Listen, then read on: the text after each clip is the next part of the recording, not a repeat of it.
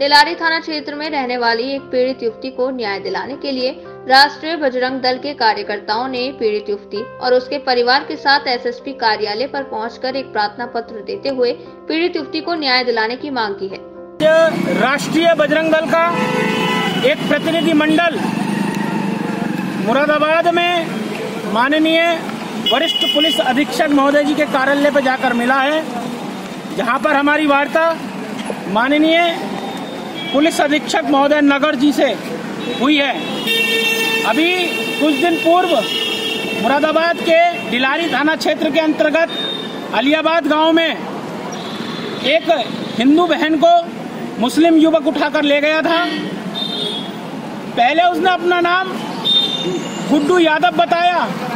बाद में पता लगा वो निज़ाम है और उसने जिस हिंदू बहन को ले गया था उसको जबरन गोमांस खिलाने का प्रयत्न करा।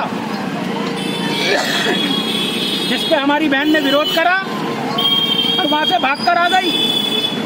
दरोगा जी ने चार दिन में उस मामले में एफआईआर करा दी, एक सौ इकसठ, एक सौ चौसठ के बयान कराए और दोषी को रिहा करा दिया। पूर्ण रूप से प्रशासन इस काम में लिप्त है। हिलारी थाना पूर्व में भी इस कृत्य को कराता रहा है। तो हमारा निवेदन है, इस पर जाँच। हो आज वो बहन हमारे साथ खड़ी है। वो घर वापस आना चाह रही है।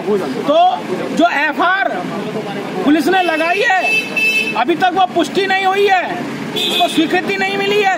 तो हमारा निवेदन है कि उस एफआर पर पुनः विवेचना माननीय वरिष्ठ पुलिस अधीक्षक महोदय जी कराएँ और हमारी जो बहन चली गई थी, उसकी घर वापसी कराने में संपूर्ण हिंदू समाज का और राष्ट्रीय बजरंग दल का सहयोग